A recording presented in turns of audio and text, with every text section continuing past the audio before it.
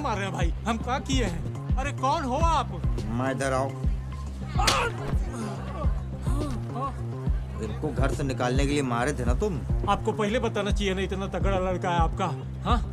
ये हमारा लड़का है ही नहीं। अम्मा जाओ। गुड़िया को सता रहा था कम से अरे भैया बिना मतलब की हमारी कुटाई कर दी है। कौन है आप? गुड्डू पंडित। बोलो। गुड्डू पंडित।